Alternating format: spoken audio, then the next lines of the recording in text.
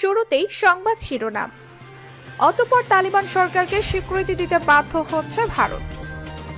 আফগানদের চরম সংকটে পাশে এসে দাঁড়াল ইন্দোনেশিয়া।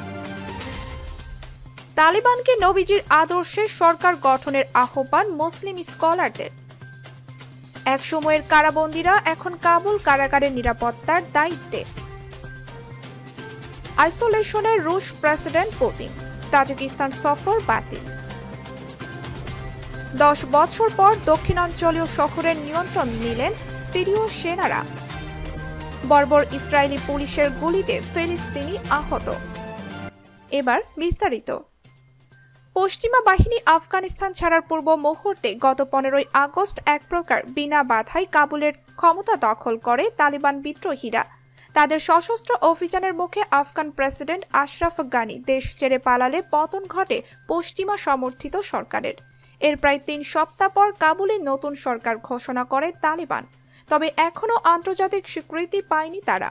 অবশেষে সেই অপেক্ষা হয়তো শেষ হতে চলেছে। ভারত শীঘ্রই তালিবান সরকারকে স্বীকৃতি দিতে পারে বলে জানিয়েছে কলকাতা ভিত্তিক দৈনিক সংবাদ প্রতিদিন।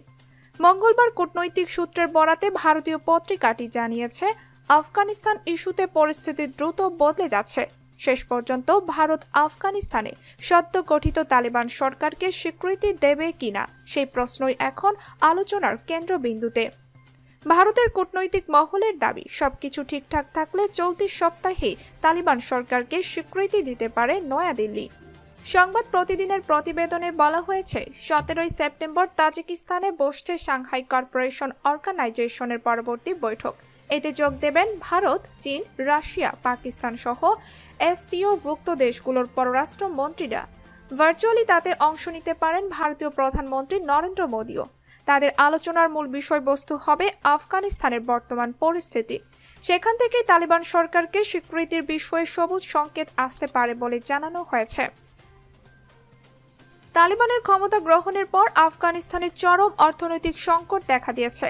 এই পরিস্থিতিতে সাধারণ আফগানদের পাশে দাঁড়িয়েছে বিশ্বের বৃহত্তম মুসলিম দেশ ইন্দোনেশিয়া।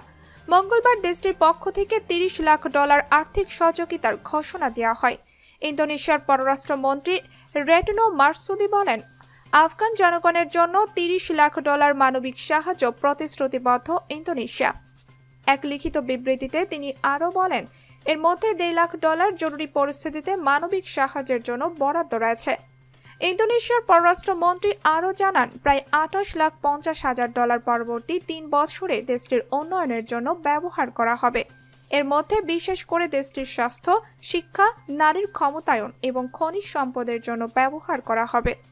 এছাড়া আফগানিস্তান পুনর্গঠনে ইন্দোনেশিয়া প্রতিশ্রুতিবদ্ধ বলে জানায় পররাষ্ট্র দফতর এর আগে সোমবার উচ্চ পর্যায়ে এক ভার্চুয়াল বৈঠকে জাতিসংঘের মহাসচিব আন্তনিও গুতেরেস আফগানিস্তানের মানবিক পরিস্থিতির কথা তুলে ধরেন। এছাড়া আফগানিস্তানের মানবিক সাহায্যর কথাও জানান।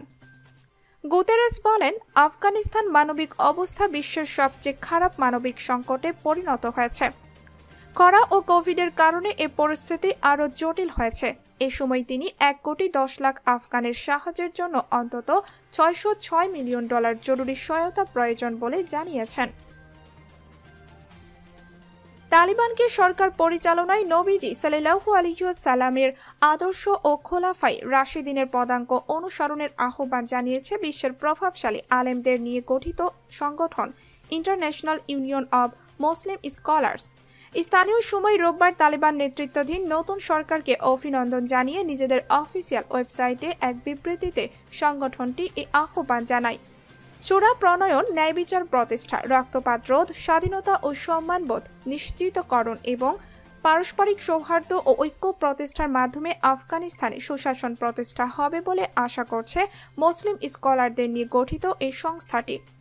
তালিবান সরকারের প্রধান মোহাম্মদ হাসান আখন্দকেও ওই বিবৃতিতে পৃথকভাবে অভিনন্দন জানায় international union of Muslim scholars. Afghan জনগণ ও তালিবান তাকে সরকার প্রধান নির্বাচন করে যে আস্থা রেখেছেন, তিনি তা পূরণ করবেন, সংগঠনটি সেই আশা করে। ভ্রাতৃত্ব প্রতিম আফগান জনগণের নিরাপত্তা, স্থিতিশীলতা, সমৃদ্ধি এবং তাদের উচ্চাকাঙ্ক্ষা বাস্তবায়নে মোহাম্মদ হাসান আখন্দ সফল হবেন বলেও তারা মনে করে।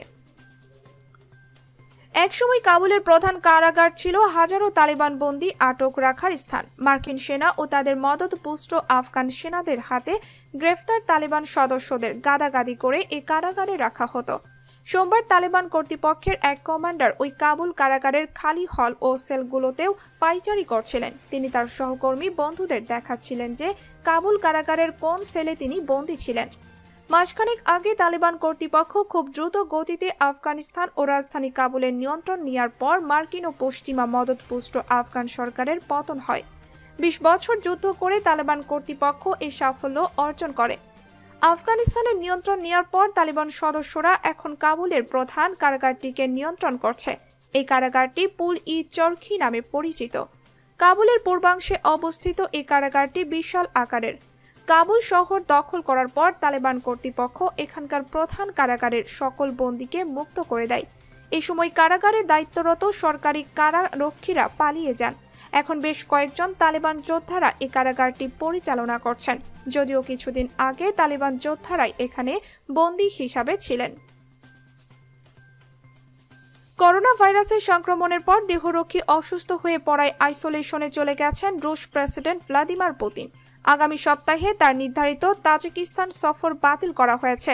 মঙ্গলবার ক্রেমলিনের বরাত দিয়ে এ খবর প্রকাশ করেছে রয়টার্স। আফগানিস্তানের সৃষ্ট সংকটকে সামনে রেখে আঞ্চলিক সহযোগিতার বিষয়ক জোট সিএসটিও ও এসসিও এর উচ্চ পর্যায়ের বৈঠক হওয়ার কথা ছিল তাজিকিস্তানে। সফর বাতিল হওয়ার বিষয়টি তাজিকিস্তানের প্রেসিডেন্টকে কল করে জানিয়েছেন পুতিন। তিনি ভার্চুয়ালি বৈঠকে অংশ নেবেন। উল্লেখ্য, পুতিন রাশিয়ার উদ্ভাবিত করোনা টিকার দুই ডোজ নিয়েছেন। তারপরও সতর্কতা বশত তিনি সঙ্গ নিরোধে গেছেন। সিরিয়ার দক্ষিণাঞ্চলীয় দারা প্রদেশের আল ইয়াদুদা শহরে দশ বছর পর প্রবেশ করেছেন দেশটির সরকারি সেনারা। স্থানীয় গোত্র নেতাদের সঙ্গে এক সমঝোতার পরিপ্রেক্ষিতে এটি সম্ভব হয়েছে। সমঝোতা প্রতিষ্ঠার ক্ষেত্রে রাশিয়া মধ্যস্থতা করে, খবর এপির। রুশ সেনাদের সঙ্গে সিরিয়ার সেনা কর্মকর্তারা রোববার শহরটিতে যান। এর আগ পর্যন্ত শহরটি বিদেশি মদতপুষ্ট ভাড়াটে সন্ত্রাসীদের দখলে ছিল। রোববার রাশিয়ার মধ্যস্থতায় গোত্র নেতাদের সঙ্গে চুক্তি হয়। শহরে অস্ত্রধারী গোষ্ঠীগুলো সরকারি সেনাদের কাছে অস্ত্র সমর্পণ করবে এবং আল ইয়াদুদা শহরের নিয়ন্ত্রণে থাকবে সেনাদের হাতে। এর বিনিময়ে সশস্ত্র গোষ্ঠীগুলো সাধারণ ক্ষমা লাভ করবে। সিনিয়র সেনাদের শহরে প্রবেশের পর আনুষ্ঠানিকভাবে অস্ত্র সমর্পণ ও শহরের নিয়ন্ত্রণ বুঝে নেওয়ার জন্য রোববার সেখানে একটি কেন্দ্র প্রতিষ্ঠা করা হয়। এইসব বিষয় দেখভাল করেন রুশ সেনা কর্মকর্তা ও গোত্র নেতারা। প্রচণ্ড যুদ্ধের পর সন্ত্রাসী গোষ্ঠীগুলো অস্ত্র সমর্পণ ও শহরের নিয়ন্ত্রণ ছাড়তে রাজি হয়। তবে এখনও কিছু গোষ্ঠীর চুক্তি মানতে চাইছে না। তাদের ওপর নজরদারি করার জন্য সিরিয়ার সেনারা শহরের কয়েকটি চেকপয়েন্টে বসিয়েছে। পশ্চিমা জেরুজালেমে সুরি হামলা চালিয়ে দুই ইসরায়েলকে আহত করার অভিযোগে এক ফিলিস্তিনিকে গুলি করেছে ইসরায়েলি পুলিশ। জেরুজালেমের ইয়াফাই স্ট্রিটের একটি দোকানে এ ঘটনা ঘটে, খবর আনাদলুর। ইসরায়েলের পুলিশ এক বিবৃতিতে জানায়, আহত দুই ইসরায়েলিকে হাসপাতালে নেওয়া হয়েছে, তাদের আঘাত মাঝারি ধরনের। পুলিশ আরও জানায়, হামলাকারী আহত হয়েছেন, তবে তার অবস্থা সম্পর্কে বিস্তারিত কিছু জানানো হয়নি। ভিডিওটি ভালো লাগলে লাইক, কমেন্ট এবং শেয়ার করতে ভুলবেন না। প্রতিদিন আপডেট খবর পেতে আমাদের চ্যানেলটি সাবস্ক্রাইব করে আমাদের সাথেই থাকুন। ধন্যবাদ।